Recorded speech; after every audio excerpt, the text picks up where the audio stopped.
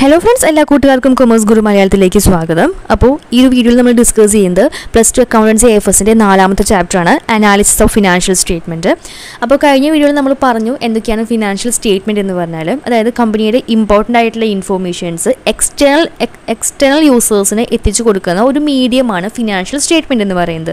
Balance sheet profit and loss account cash flow statement ഇത് മൂന്നാണ് മെയിനായിട്ട് പ്രിപ്പയർ ചെയ്യുന്ന കമ്പനി പ്രിപ്പയർ ചെയ്യുന്ന ഫിനാൻഷ്യൽ സ്റ്റേറ്റ്മെന്റ് എന്ന് പറയുന്നത്. ഇനി ഈ ഫിനാൻഷ്യൽ സ്റ്റേറ്റ്മെന്റ് നമ്മൾ അനലൈസ് ചെയ്യും. അനാലിസിസ് ഓഫ് ഫിനാൻഷ്യൽ സ്റ്റേറ്റ്മെന്റിന്റെ മീനിങ് എന്താണെന്നുള്ളത് നോക്കാം.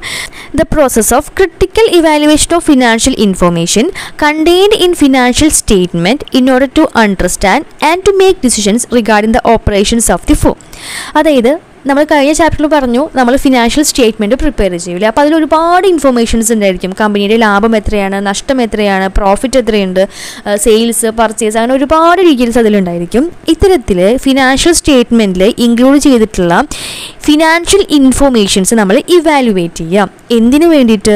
ഇൻ ഓർഡർ ടു അണ്ടർസ്റ്റാൻഡ് നമുക്ക് ആവശ്യമുള്ള കാര്യങ്ങൾ മനസ്സിലാക്കാൻ വേണ്ടിയിട്ട് അതിനോടൊപ്പം തന്നെ ഇമ്പോർട്ടന്റ് ആയിട്ടുള്ള തീരുമാനങ്ങൾ എടുക്കാൻ വേണ്ടിയിട്ട് കമ്പനിയുടെ ഓപ്പറേഷൻസുമായി ബന്ധപ്പെട്ടിട്ടുള്ള ഇമ്പോർട്ടന്റ് ആയിട്ടുള്ള തീരുമാനങ്ങൾ എടുക്കാൻ വേണ്ടിയിട്ടുള്ള ഫിനാൻഷ്യൽ ഇൻഫോർമേഷന്റെ ക്രിട്ടിക്കൽ ഇവാലുവേഷനെയാണ് നമ്മൾ അനാലിസിസ് ഓഫ് ഫിനാൻഷ്യൽ സ്റ്റേറ്റ്മെന്റ് എന്ന് പറയുന്നത്.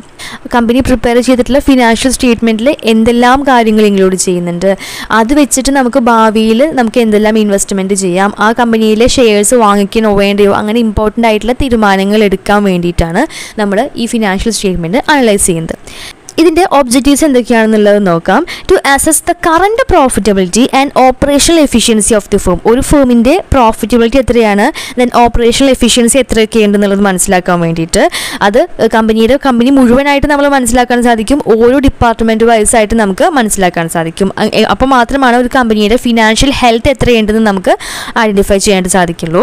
നെക്സ്റ്റ് പോയിന്റ് പറയുന്നത് to ascertain the relative importance of different components of financial position അതായത് കമ്പനിയുടെ ഫിനാൻഷ്യൽ പൊസിഷനെ എഫക്റ്റ് ചെയ്യുന്ന ഒരുപാട് ഘടകങ്ങളുണ്ട്. ആ ഘടകങ്ങളുടെ ഇമ്പോർട്ടൻസ് മനസ്സിലാക്കാൻ വേണ്ടിയിട്ട്. ദെൻ കമ്പനിയുടെ പ്രോഫിറ്റബിലിറ്റിനെയും അതുപോലെ തന്നെ ഫിനാൻഷ്യൽ പൊസിഷനെയും മാറ്റുന്ന കാരണങ്ങൾ എന്തൊക്കെയാണെന്ന് മനസ്സിലാക്കാൻ വേണ്ടിയിട്ട്. അപ്പോൾ ഈ ഒരു വർഷം നമുക്ക് ലാഭമാണെങ്കിൽ അടുത്ത വർഷം നമുക്ക് ചിലപ്പോൾ ലോസ് ആയിരിക്കും സംഭവിക്കുന്നുണ്ടായിരിക്കുക അപ്പോൾ നഷ്ട ലാഭത്തിലുള്ള ഒരു കമ്പനി നഷ്ടത്തിലേക്ക് പോകാനുള്ള കാരണങ്ങൾ എന്തൊക്കെയാണ്? അത് മനസ്സിലാക്കാൻ വേണ്ടിയിട്ട് നമ്മൾ ഈ ഫിനാൻഷ്യൽ സ്റ്റേറ്റ്മെന്റ് അനലൈസ് ചെയ്യണം. Next to judge the ability of the firm to repay the ഡെപ്റ്റ് ഒരു കമ്പനി കടം വാങ്ങിച്ചിട്ടുണ്ടെന്നുണ്ടെങ്കിൽ അത് തിരിച്ചടയ്ക്കാനുള്ള കപ്പാസിറ്റി ആ കമ്പനിക്ക് ഉണ്ടോ എന്ന് മനസ്സിലാക്കുന്നത് ഏത് മുഖ മുഖാന്തരമാണ്? ഈ ഫിനാൻഷ്യൽ സ്റ്റേറ്റ്മെന്റ് അനലൈസ് ചെയ്യുന്നതിലൂടെയാണ്. ഓക്കെ അതുപോലെ തന്നെ കമ്പനിയുടെ short term and long term liquidity position മനസ്സിലാക്കാനും ഈ ഫിനാൻഷ്യൽ സ്റ്റേറ്റ്മെന്റ് സഹായിക്കുന്നുണ്ട്. മെയിനായിട്ടും അഞ്ച് ടൂൾസ് ആണ് ഈ ഫിനാൻഷ്യൽ സ്റ്റേറ്റ്മെന്റ് അനലൈസിന് നമ്മൾ ഉപയോഗിക്കുന്നത്. ഒന്ന് കമ്പാറ്റീവ് സ്റ്റേറ്റ്മെന്റ് ആണ്. ആ പേര് തന്നെയുണ്ട്. പരസ്പരം കമ്പയർ ചെയ്യുക. പ്രീവിയസ് ഇയറിലുള്ള ഫിനാൻഷ്യൽ സ്റ്റേറ്റ്മെന്റ്സിന്റെ ഫിഗേഴ്സ് എടുത്തുകൊണ്ട് പരസ്പരം കമ്പയർ ചെയ്തുകൊണ്ട് എന്തെല്ലാം മാറ്റങ്ങൾ വരുത്താം? എന്തെല്ലാം ആക്ടിവിറ്റീസ് നമുക്ക് ചെയ്യാം? ഇമ്പോർട്ടന്റ് ആയിട്ട് തീരുമാനങ്ങൾ എടുക്കാം. അതിനാണ് കമ്പാറ്റീവ് സ്റ്റേറ്റ്മെന്റ് എന്ന് പറയുന്നത്. പ്രീവിയസ് ഇയറിലുള്ള ബാലൻസ് ഷീറ്റും അതുപോലെ തന്നെ പ്രോഫിറ്റ് ആൻഡ് ലോസ് അക്കൗണ്ടും കറണ്ട് ഇയറിലെ സ്റ്റേറ്റ്മെന്റ്സുമായിട്ട് കമ്പയർ ചെയ്തുകൊണ്ടാണ് ഇത്തരത്തിലുള്ള തീരുമാനങ്ങൾ എടുക്കുന്നത്. നമുക്ക് നോക്കാം. These are statement showing the profitability financial position of a firm for different period of time അതായത് കഴിഞ്ഞ വർഷങ്ങളിൽ കഴിഞ്ഞ രണ്ടോ മൂന്നോ വർഷങ്ങളിൽ കമ്പനിയുടെ പ്രോഫിറ്റബിലിറ്റിയും ഫിനാൻഷ്യൽ പൊസിഷനും ഒക്കെ മനസ്സിലാക്കിക്കൊണ്ടായിരിക്കും നമ്മളിവിടെ കാര്യങ്ങൾ തീരുമാനിക്കുന്നുണ്ടായിരിക്കുക. രണ്ടോ അതിലധികമോ വർഷങ്ങളിൽ ഓക്കെ സാധാരണയായിട്ടും ബാലൻസ് ഷീറ്റും പ്രോഫിറ്റ് ആൻഡ് ലോസ് ഉപയോഗിച്ചിട്ടാണ് കമ്പാരിറ്റീവ് സ്റ്റേറ്റ്മെന്റ്സ് നമ്മൾ പ്രിപ്പയർ ചെയ്യുന്നത്. നെക്സ്റ്റ് ആണ് കോമൺ സൈസ് സ്റ്റേറ്റ്മെന്റ് ഇത് ജസ്റ്റ് എന്താണെന്ന് മാത്രം മനസ്സിലാക്കി പോയാൽ മതി. ഒരു ഡീറ്റെയിൽ ആയിട്ടൊന്നും പഠിക്കേണ്ട ആവശ്യമില്ല. കോമൺ സൈസ് സ്റ്റേറ്റ്മെന്റ് എന്ന് പറഞ്ഞാൽ the statement are indicate the relationship between different items of a financial statement financial സ്റ്റേറ്റ്മെന്റിൽ ഒരുപാട് ഐറ്റംസ് ഉണ്ടാവും അല്ലേ സെയിൽസ് പർച്ചേസ് പ്രോഫിറ്റ് ലോസ് എന്ന് പറഞ്ഞിട്ട് ഒരുപാട് ഐറ്റംസ് ഉണ്ടായിരിക്കും. ഈ ഐറ്റംസ് തമ്മിലുള്ള റിലേഷൻഷിപ്പ് മനസ്സിലാക്കാൻ വേണ്ടിയിട്ടാണ് നമ്മൾ കോമൺ സൈസ് സ്റ്റേറ്റ്മെന്റ് പ്രിപ്പയർ ചെയ്യുന്നത്. സാധാരണയായിട്ട് പേഴ്സന്റേജ് ഫോമിലായിരിക്കും ഓരോ ഐറ്റംസ് തമ്മിലുള്ള റിലേഷൻഷിപ്പ് നമ്മൾ മനസ്സിലാക്കുന്നുണ്ടായിരിക്കുക.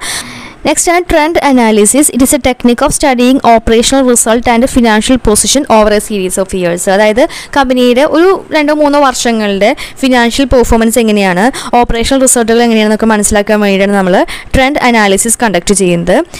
നമ്മൾ പ്രീവിയസ് ഇയറിലുള്ള ഡാറ്റ ഉപയോഗിച്ചുകൊണ്ടായിരിക്കും ട്രെൻഡ് അനാലിസിസ് നടത്തുന്നുണ്ടായിരിക്കുക.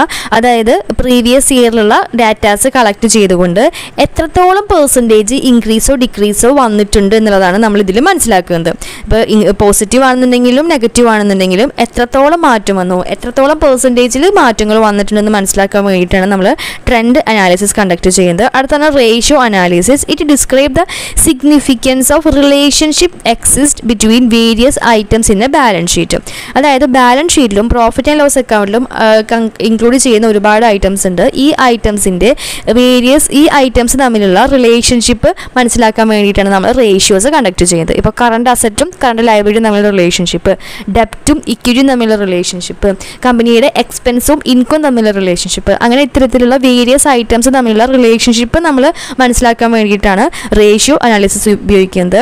അടുത്താണ് cash flow analysis it refers to analysis of actual movement of cash into and out of the firm അതായത് ഒരു ഓർഗനൈസേഷനിലേക്ക് എത്രത്തോളം ക്യാഷ് ഇൻ ചെയ്യുന്നുണ്ട് വരുന്നുണ്ട്. അതുപോലെ തന്നെ ക്യാഷ് പുറത്തോ പുറത്തോട്ട് പോകുന്നുണ്ട്. ഇത്തരത്തിലുള്ള കാര്യങ്ങൾ മനസ്സിലാക്കാൻ വേണ്ടിയിട്ടാണ് ക്യാഷ് ഫ്ലോ അനാലിസിസ് നമ്മൾ യൂസ് ചെയ്യുന്നത്. അപ്പോൾ ചിലപ്പോൾ അത് ക്യാഷ് ഇൻഫ്ലോസ് ആയിരിക്കാം. കമ്പനിയുടെ ഉള്ളിലേക്കാണ് ക്യാഷ് അതായത് കമ്പനിക്ക് ഇൻകം ആയിട്ടാണ് ക്യാഷ് വരുന്നുണ്ടെങ്കിൽ അത് ക്യാഷ് ഇൻഫ്ലോ എന്നും അതിനെ പോസിറ്റീവ് ക്യാഷ് ഫ്ലോ എന്നും പറയുന്നുണ്ട്. ഇനി കമ്പനിയുടെ പുറത്തോട്ട് എക്സ്പെൻസിന്റെ രൂപത്തിലേക്കാണ് ക്യാഷ് പോകുന്നുണ്ടെങ്കിൽ അതിനെ ക്യാഷ് ഔട്ട്ഫ്ലോ എന്നും നെഗറ്റീവ് ക്യാഷ് ഫ്ലോ എന്നുമാണ് അതിനെ പറയുന്നത്. ഇത്തരത്തിൽ ക്യാഷ് ഇൻഫ്ലോയും ക്യാഷ് ഔട്ട്ഫ്ലോയും തമ്മിലുള്ള ആ ഡിഫറൻസിനെയാണ് നമ്മൾ നെറ്റ് ക്യാഷ് ഫ്ലോ എന്ന് പറയുന്നത്.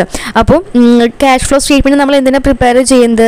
To project the manner in which the cash has been received and has been utilised during the accounting year ഒരു അക്കൗണ്ടിങ് ഇയറിൽ ഏതെല്ലാം രീതിയിലൂടെ ക്യാഷ് കമ്പനിയിലേക്ക് വരുന്നുണ്ട്? ഏതെല്ലാം രീതിയിലൂടെ ആ ക്യാഷ് കമ്പനി ഉപയോഗപ്പെടുത്തുന്നുണ്ട് എന്ന് മനസ്സിലാക്കാൻ വേണ്ടിയിട്ടാണ് നമ്മൾ ക്യാഷ് ഫ്ലോ അനാലിസിസ് ചെയ്യുന്നത്. ഇതിന്റെ ഓരോന്നിന്റെയും ഡീറ്റെയിൽ ആയിട്ടുള്ള ഭാഗങ്ങൾ ഇനി ഓരോ ചാപ്റ്റേഴ്സായിട്ട് നമ്മൾ ഡിസ്കസ് ചെയ്യുന്നുണ്ട്.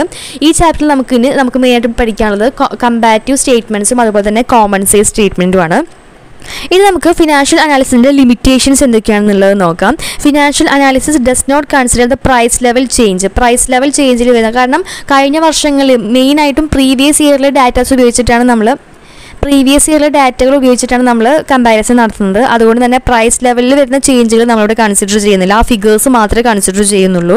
അപ്പോൾ ഇപ്പോൾ അഞ്ച് വർഷം മുമ്പത്തെ ആ ഒരു ഫിഗറും ഇന്നത്തെ ഫിഗറും തമ്മിൽ വ്യത്യാസം ഉണ്ടായിരിക്കില്ല. ഫിഗർ സെയിം ആണെങ്കിലും അതിന്റെ പർച്ചേസിംഗ് പവറിൽ വ്യത്യാസം വന്നിട്ടുണ്ടായിരിക്കും. പക്ഷെ അത് നമ്മൾ കൺസിഡർ ചെയ്യുന്നില്ല. ആ ഫിഗർ മാത്രമേ കൺസിഡർ ചെയ്യുന്നുള്ളൂ. ഇനി financial analysis may be misleading without the knowledge of the change in accounting procedure അതായത് ചിലപ്പോൾ പല കമ്പനികളും പല അക്കൗണ്ടിങ് പ്രൊസീജിയർ ആയിരിക്കും ഫോളോ ചെയ്യുന്നുണ്ടായിരിക്കുക. അതൊന്നും കൺസിഡർ ചെയ്യാതെ തെറ്റായ രീതിയിൽ നമ്മൾ കാര്യങ്ങൾ വ്യാഖ്യാനിക്കപ്പെടാൻ ഈ ഫിനാൻഷ്യൽ അനാലിസിസ് ചിലപ്പോൾ കാരണമായേക്കാം. Financial analysis is just study of report of company കമ്പനിയുടെ റിപ്പോർട്ട്സിനെ കുറിച്ചിട്ടുള്ള ഒരു ഒരു പഠനം. അത് മാത്രമാണ് അനാലിസിസ് കൊണ്ട് ഉദ്ദേശിക്കുന്നത്. ഇനി മോണിറ്ററി ഇൻഫർമേഷൻസ് മാത്രമേ ഇതിൽ നമ്മൾ കൺസിഡർ ചെയ്യുന്നുള്ളൂ. നോൺ മോണിറ്ററി ആസ്പെക്ട്സ് ഒന്നും നമ്മളിതിൽ കൺസിഡർ ചെയ്യുന്നില്ല. ദെൻ ഫിനാൻഷ്യൽ സ്റ്റേറ്റ്മെന്റ്സ് പ്രിപ്പയർ ചെയ്യുന്നത് അക്കൗണ്ടിങ് കോൺസെപ്റ്റ്സുകളുടെ ഒക്കെ അടിസ്ഥാനത്തിലാണ്. അതുകൊണ്ട് തന്നെ ഇത് കറണ്ട് പൊസിഷനെ കുറിച്ചിട്ട് വ്യക്തമായിട്ടുള്ളൊരു ഇൻഫർമേഷൻ ആളുകളിലേക്ക് എത്തിക്കുന്നില്ല എന്നാണ് പറയുന്നത്. അപ്പോൾ ഇത്രയാണ് ലിമിറ്റേഷൻസ് ആയിട്ട് പറയുന്നത്. ഇനിയുള്ള വീഡിയോസിൽ നമുക്ക് പ്രോബ്ലംസ് ഡിസ്കസ് ചെയ്യാം. അപ്പോൾ എല്ലാവർക്കും ക്ലാസ് മനസ്സിലായെന്ന് വിചാരിക്കുന്നു. നിങ്ങളുടെ കൂട്ടുകാരിലേക്ക് ഷെയർ ചെയ്ത് കൊടുക്കാനും അതുപോലെ തന്നെ നമ്മുടെ ചാനൽ സബ്സ്ക്രൈബ് ചെയ്യാനും മറക്കരുത്. കേട്ടോ താങ്ക്